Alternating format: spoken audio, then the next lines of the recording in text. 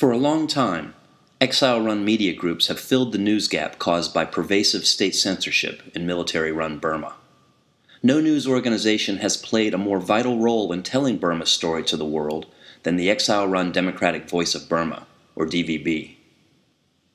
Based in Oslo, Norway, DVB maintains a team of over 100 undercover video reporters inside Burma, who often undertake great personal risk to report the news while avoiding detection by government authorities. That daring was on display with DVB's groundbreaking coverage of the 2007 Saffron Revolution, where the military government cracked down violently on Buddhist monk led street demonstrations and tightly censored the local media coverage of the events. DVB's exclusive footage, which was picked up by many international broadcasters, showed troops firing on unarmed demonstrators. DVB's reporters are often forced to film from hidden locations due to government bans against using video equipment without a permit.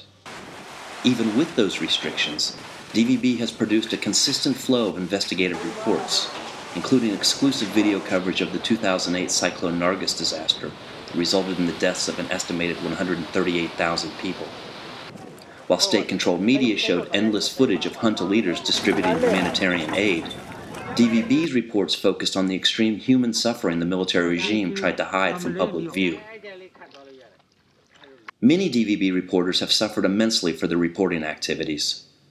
DVB claims that 17 of their video reporters are currently being held behind bars. 12 of them have remained nameless due to concerns their sentences would be lengthened and prison conditions worsened if authorities discovered they were affiliated with DVB. Newly elected President Thein Sein has insinuated in recent speeches that his government will allow more space for local media to report and encourage Burmese in exile that it's safe for them to return home. But as long as his military backed administration continues to imprison and treat the DVB's reporters like enemies of the state, his vows of reform and reconciliation will ring hollow.